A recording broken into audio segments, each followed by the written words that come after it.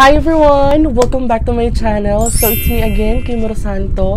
So ayan, may panibagong video na naman po tayo mga sis. And for today's video ay isa-share ko naman po sa inyo ang aking everyday makeup routine. Charot!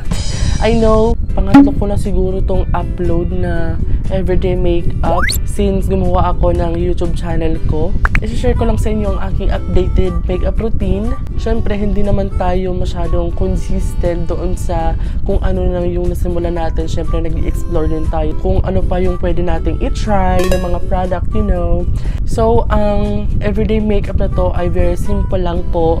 At lahat ng mga product na gagamitin ko po ay madali nyo lang pong mahahanap kahit sa ang drugstore or mga makeup stall dyan, ganon. Sorry po sa aking pimples. Oh my God. Ayun, nagbe-break out po ako for today's video. Siguro tumataas na naman ang aking testosterone. Charot. Kasi nag-stop po ako mag-hormones. Kaya siguro nagka-pimples ulit ako. So, ayan. First, mag-wipes muna tayo ng face. So, yung wipes na ginagamit ko ay itong Sanicare Cleaning Wipes. So, save more ko yan nabili.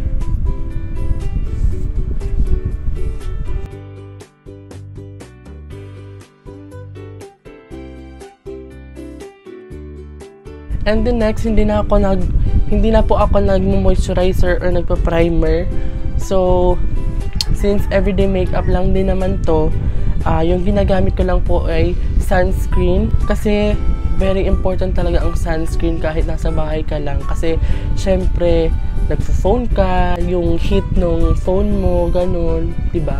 Kailangan laging protected ang iyong face. Kaya nagkaganito ang face ko. Charot! So, yung ginagamit kong sunscreen ay itong Brilliant Skin. At ito ay SPF 30. So, ang pag-apply nito, ginagamit ko lang yung kamay ko. Hindi ako gumagamit ng brush or anything. Tapos, kunti lang yung inilalagay ko kasi yung shade niya, shade pa, uh, medyo light siya sa akin. Kaya, kinukonti ko lang yung paglagay. At, kailangan i-blend agad. Kasi nagsiset siya agad mga sis. Medyo maglagay pa tayo kasi parang kulang pa.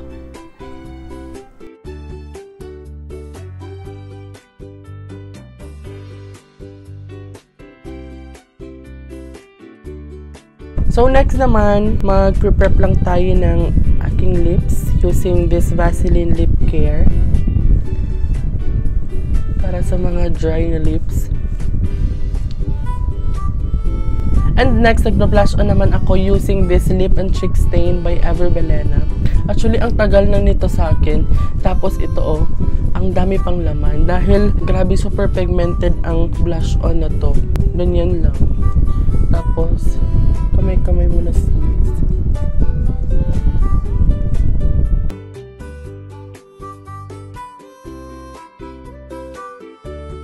Next naman, magko-concealer tayo. Tapos yung ginagamit kong concealer ay itong Careline. Ito yung darkest shade nila, ang mocha.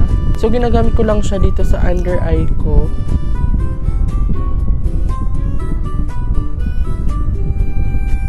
Tapos sa mga spot, gusto kong i-conceal. Ayan. Ang dami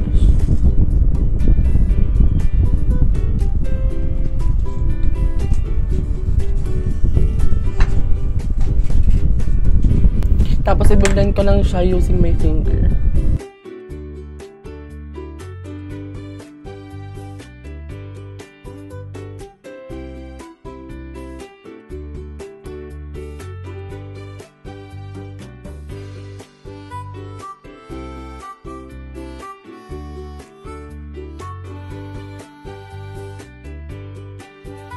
Ayan.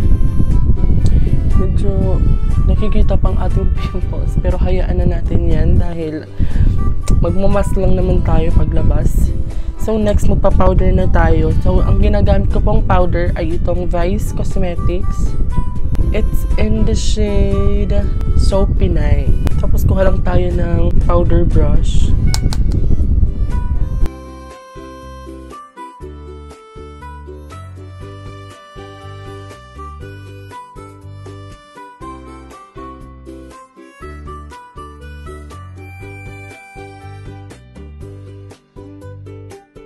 So, ayan, naging matte na po ang ating face.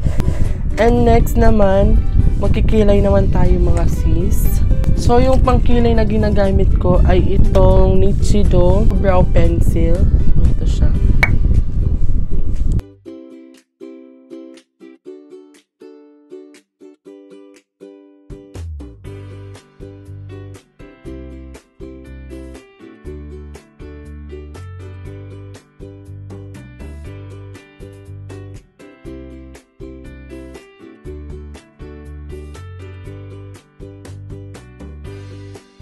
Tapos, kuha lang tayo ng spoolie para ma-spread out yung product na nailagay natin sa ating brows.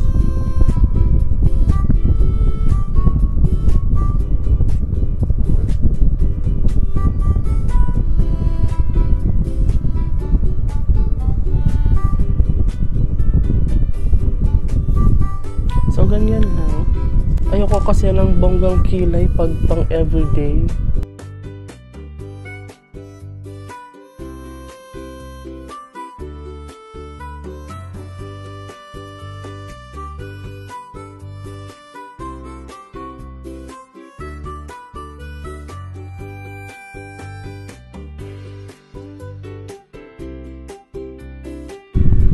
Ganyan lang. Mm. May instant kilay ka na sis. Tapos next naman, mag lip tint na tayo. So yung ginagamit kong lip tint, yung ginamit ko kanina sa aking blush on. Since ito naman ay lip and cheek tint. So, ayun.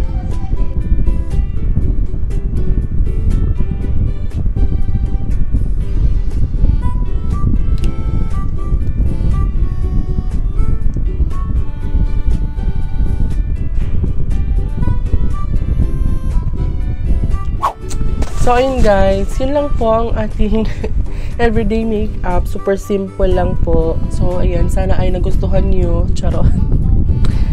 ba Super simple lang. Very go-to makeup lang talaga siya. So, ayan. I hope you like this video. Please like this video and please subscribe sa mga hindi pa po nakakapag-subscribe. And please click that notification bell so that you will always be notified every time magpo-post ako ng panibagong video just like this one.